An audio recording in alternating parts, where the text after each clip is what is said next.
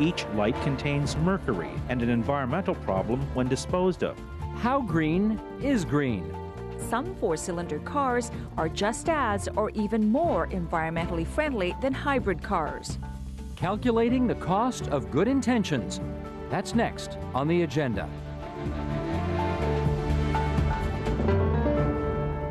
And joining us now on the debate in Pittsburgh, Pennsylvania, Lester Lave, professor at Carnegie Mellon University.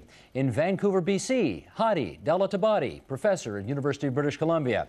And here in studio, Heather MacLean, a professor from the University of Toronto, Clarissa Morawski with the CM Consulting Group, and Usman Valiente of Corporate Policy Group. It's good to have all of you here in Toronto, plus in points beyond in both Canada and the U.S. I want to start by reading something that was in the Globe and Mail this past summer, which I suspect had a lot of people scratching their heads about how green really is green. Here's the quote. Oregon based CNW Marketing Research Inc. has conducted the world's most comprehensive analysis of the life cycle energy requirements of more than 100 makes and models of cars and trucks. The company expresses energy requirement as the dollar cost of energy for every mile across a vehicle's anticipated years of use, US dollars per lifetime mile. Thus, it reports the lifetime energy requirement of a Hummer as $1.90 a mile, the lifetime energy requirement of a hybrid Prius as $2.86 a mile. Now, before we discuss whether a Hummer is actually greener than a Prius, Heather, you're going to start by telling us what's a life cycle analysis? Well, a life cycle analysis examines the environmental implications of a product throughout its entire life cycle, from raw material extraction through production, use, and end of life of the product. And conceptually, at least, it would include all of the inputs, say all the resources, as well as the, all the outputs, which would be the discharges or emissions to the environment throughout the entire set of activities associated with the pro So, product. Obviously more complicated than how many miles to the gallon or how many kilometers to the liter. Considerably. Considerably. Okay, Lester, how many factors do you have to consider uh, to do a proper life cycle analysis of a product? Well, you have to consider everything that uh, Professor MacLean just said, but in some research that uh, we did uh, some years ago, what we found was that uh, about 85 to 90 percent of the life cycle emissions and resource use uh, for a vehicle came from the amount of fuel that it burned. And so this analysis that uh, says that the Hummer is a, a cleaner car, a greener car than the Prius, uh, I think is just nonsense. Hadi, can I get your take on that?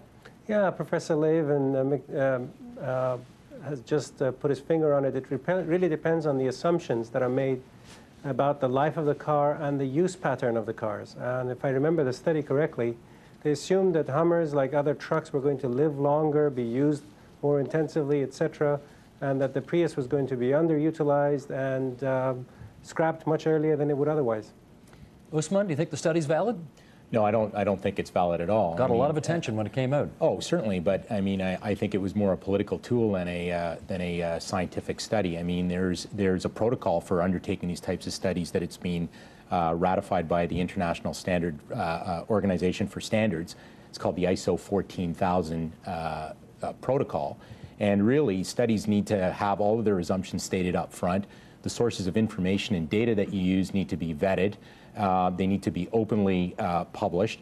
And um, once the study's undertaken, it needs to go to a peer review and, and be vetted by a, uh, a group of third-party experts that look at it and, and make sure that what you said you did, you did. Uh, the assumptions that you made, you followed, and the information that you used, used is verifiable. Okay, let me follow up with Clarissa. I mean, this study apparently went into the materials used, the transportation involved, getting it from factory to dealership, driving habits of people who bought Hummers versus Priuses, that kind of thing.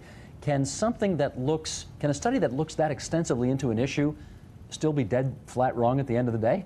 It can be because it's all based on a person's use of a vehicle, and that varies person to person. They've uh, applied a series of assumptions based on a snapshot situation. And if you change one assumption, the results can change dramatically. So Assumptions are like ingredients in a recipe. Change one ingredient, and the recipe changes And, completely. and, and another thing is sensitivity analysis, which is what Clarissa is, is referring to, which is when you do the study, you have to show how robust it is under a set of different assumptions and look how sensitive the, the results are based on the inputs that you put in and the assumptions that you've made. Okay, None of that was done. Let's not pick on the, the Hummer versus the Prius thing. Give Clarissa, give us another example of something where we think A is clearly greener than B, and yet maybe it isn't. Diapers, maybe? Well, diapers is a great example. I'm in the midst of them right now. Uh, there was a study that came out by a company, I w- I won't name them, that make disposable diapers, and they said that the disposable diaper was better than the cotton diaper. When I looked at some of the assumptions, they were it was based on you know washing cotton diapers every day in hot water, rinsing in hot, putting them in the dryer.